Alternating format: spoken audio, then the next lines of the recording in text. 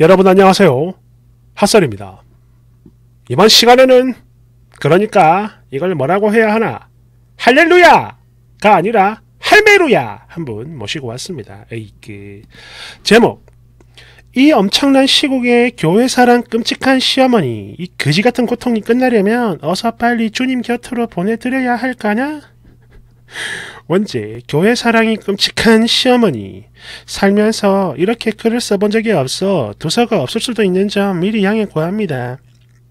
제목 그대로 교회 사랑이 넘치다 못해 아주 처절한 저희 시어머니 때문에 진짜 너무 힘들어서요. 그래서 조언이라도 좀 얻을까 해서 글 씁니다.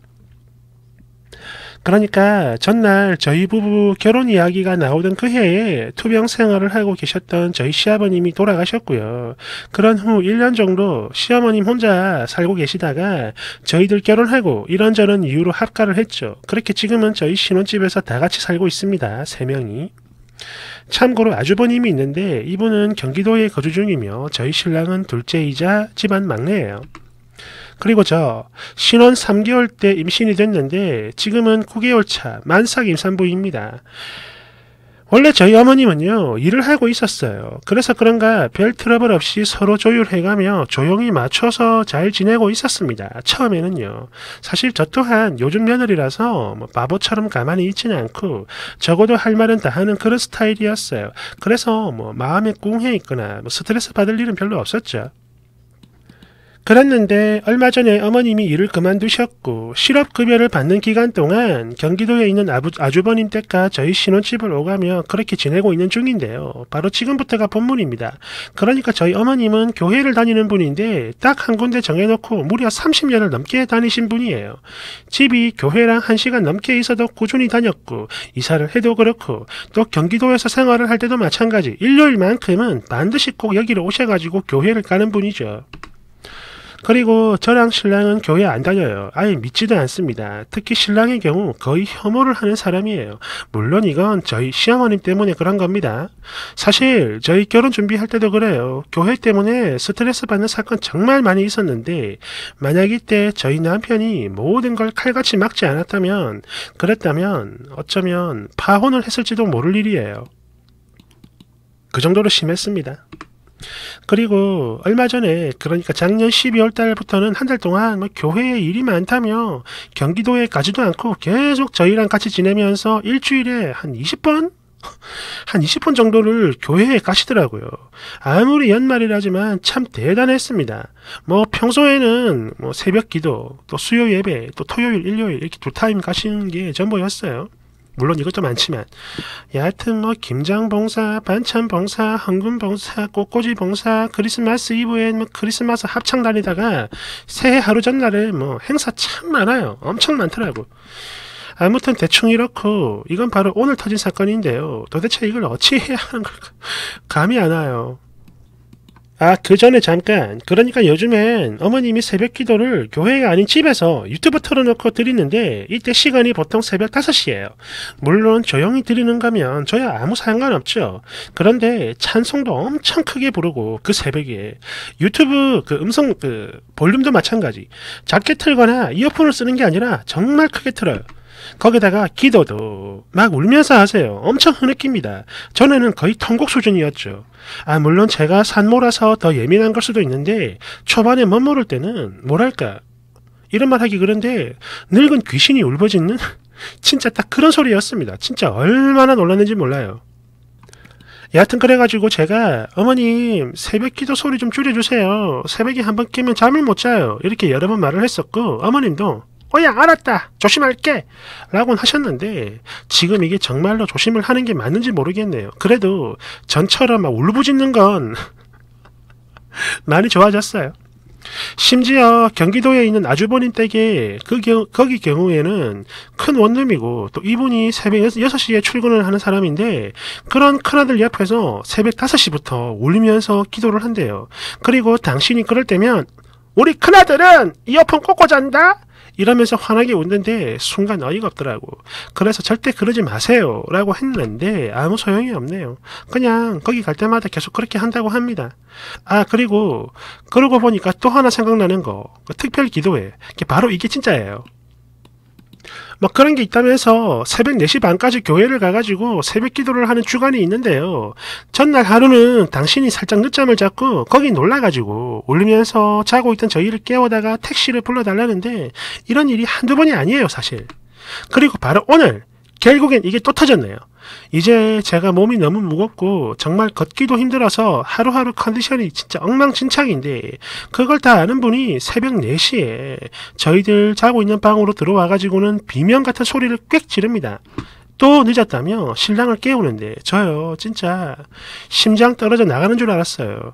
특히 저희 시어머니 목소리 완전 하이톤에 엄청 시끄럽고 듣는 사람들 그 귀가 아픈 거 있죠. 딱 그런 스타일입니다. 진짜 안 그래도 카랑카랑하고 엄청 시끄러운 목소리인데 거기다가 당신이 사랑하는 교회까지 늦었으니 그 목소리가 얼마나 다급하고 크고 쩌렁쩌렁 했겠나요.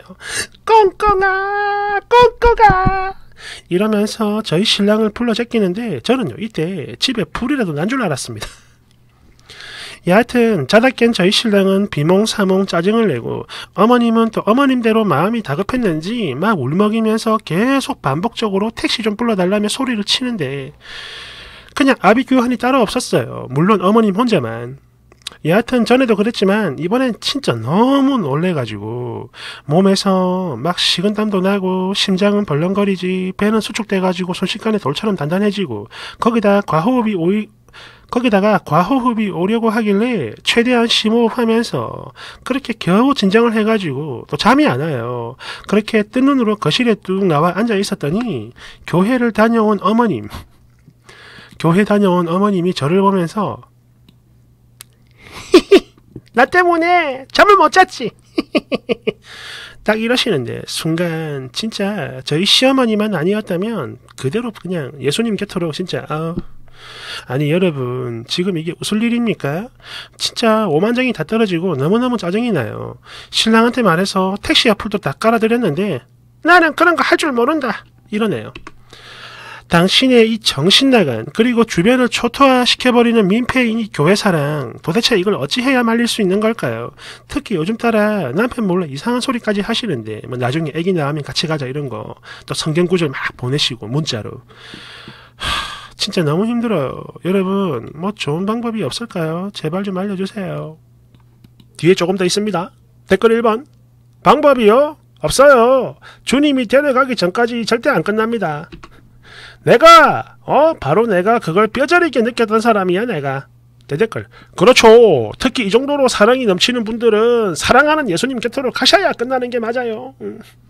2번.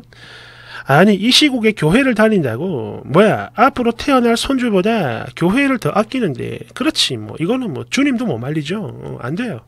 3번. 그냥 그 교회 근처에다가 원룸 하나 얻어야 할 것 같네요. 저러다가 코로나도 얻어올 것 같은데 남편은 뭐래요? 가만히 있어요? 대댓글 쓰니? 저희 신랑도 저처럼 한숨 푹푹 쉬고 있어요. 4번. 나 같으면 친정으로 갈 텐데. 아니 남편은 괜찮대요? 쓰니 친정이요. 식당을 해서 식당에서 잠을 주무시거든요. 거기가 집이에요. 그래서 친정에 가면 거기가 더 불편합니다. 안 돼요. 5번.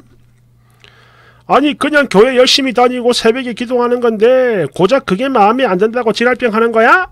강요를 하는 것도 아니고 돈을 내라는 것도 아닌데 네가 뭔데? 어? 너도 참 정상 아니다. 진짜 그러고 싶냐? 에이 그 대댓글.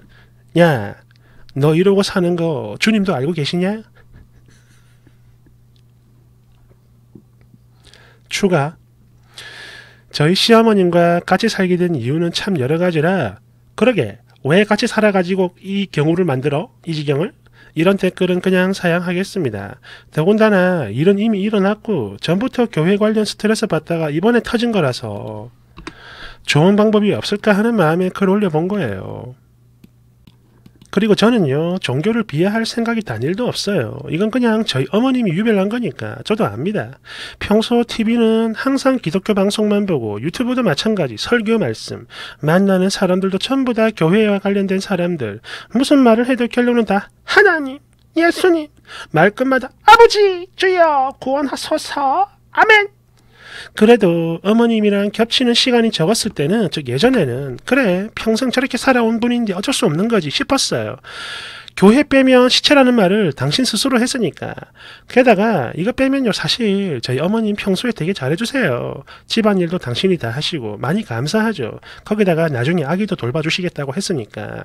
그런데 딱 하나 새벽기도 이건 진짜 너무 화가 나요. 저희 남편이 카카오 택시도 깔아드렸고 또 새벽에 그렇게 깨우지 마라. 꽁꽁이 놀랜다. 도대체 한두 번도 아니고 이게 몇 번째냐. 이렇게 뭐라 하니까 앞으로는 조용히 갈게. 라곤 하셨지만 그럼에도 자꾸 이게 반복이 되니까 그러니까 사람이 미쳐버리고 돌아버리는 거예요. 이제 예정일이 한 달 조금 넘게 남았는데 그때까지만이라도 좀 안 가셨으면 좋겠습니다. 또 방에서 하는 새벽 기도도 제발 제발 그만. 아니 도대체 왜 자꾸 귀신처럼 우는 거야? 왜 우는 거야 왜? 어? 예수님이 슬퍼? 아니 취소합니다. 취소해요. 그때까지만이 아니라 아기 낳고 난 이후에도 이럴까봐 더 무섭네요. 정말 이러다간 진짜로 큰일 나게 생겼습니다. 그러니 뭔가 좋은 수가 있으면 여러분 말씀 좀 해주세요. 끝으로 친정 도피는 불가능합니다. 사실 저도 그게 됐으면 좋겠어요. 댓글 1번 그냥 교회 근처에 방 얻어가지고 당신 혼자 사시라고 해요. 아무리 봐도 그거 말고는 방법이 없어 보이는데. 2번 혹시 시어머니 집에 들어가서 사시는 건가요? 대댓글 쓰니 아니요 결혼하고 큰 곳으로 오면서 같이 합치게 된 그런 케이스예요. 또 이게 전세라 반반이라 누구의 집도 아니라는 그런 상황이죠. 3번 아니 지발등 지가 찍어놓고 이제 와서 왜? 뭐? 그냥 쭉 이대로 재미나게 오손도손 사시게나? 깔깔깔깔깔 대댓 쓰니 야 꼭 말을 그렇게 해야만 네 속이 시원하냐? 4번 임신한 며느리랑 같이 살면서 이런 엄청난 시국에 꼭 저렇게까지 해야 하는 걸까? 아유, 진짜 그지 같다. 5번. 어머, 우리 시어머니가 아니라서 정말 다행이다. 쓰니 어쩌면 좋아.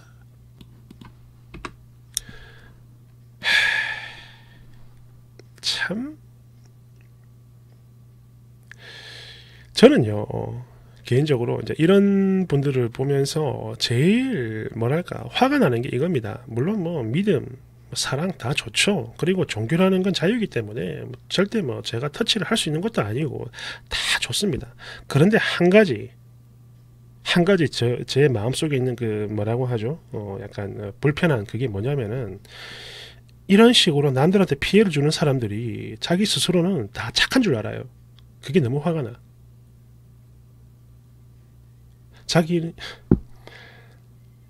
저는 개인적으로 악인이라 보거든요. 남한테 피해를 주니까 피해인 걸 알면서도 그렇게 하니까 이거는 분명 악인이라고 보는데 자기들 스스로는 진짜 착한 줄 알아요. 그게 너무 화가 나. 더는 말하지 않겠습니다. 음, 감사합니다. 응?